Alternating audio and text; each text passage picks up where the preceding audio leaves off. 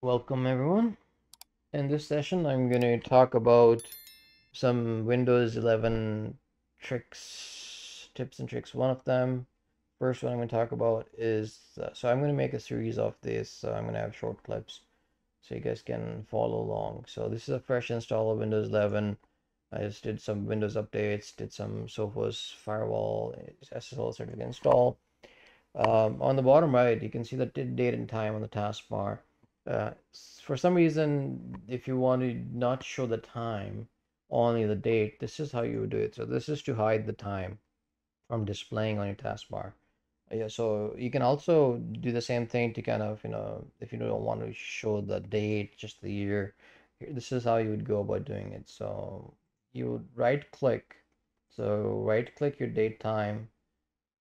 Click on adjust date and time options. I'm going to maximize that you will be greeted with this uh, screen. On the bottom here, you will see language and region. So click on language and region. In there, there is this administrative language settings. You'll click on that. Click on formats, and this is where you'll define the look and feel of your date and time down here. So if, for example, you want to give it a, this format for the date, that's how it will look like. So if you want to say, okay, no, I want to give it a something different. Say, for example, I want the year first. This is how you do that. Uh, basically, the date.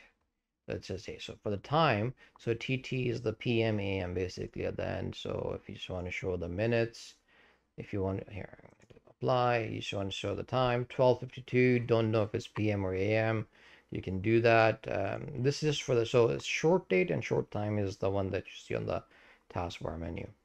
Uh, if you don't like this, if you want to completely make sure that the time is not displayed at all, this is how you do it. So you click on additional settings, you're still on the same page. You click on additional settings.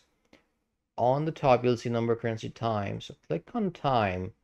Instead of hours and minute, what you're going to do is set it to S. So S is for seconds.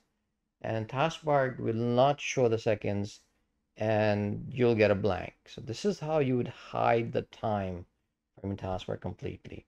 Same thing for the date. For example, if you don't want to show any of this, you want to say, okay, you can be cryptic and you can say YY and hit apply.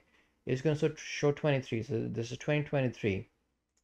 It will only show 23 at the bottom here. Same thing you can do for a different date. Say if, you, if it's a day, right? Today is whatever date it is, to show the number 7 so you can play around with these settings and accordingly adjust your taskbar. There is no way to remove the icon, the clock icon, unlike Windows 10 where you had that option.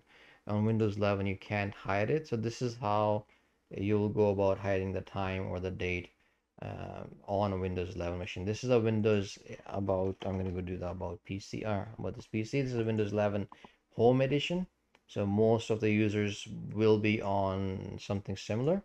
Very and same thing for windows pro windows enterprise edition as well. It's no different. Thanks guys. Thanks for watching. Stay safe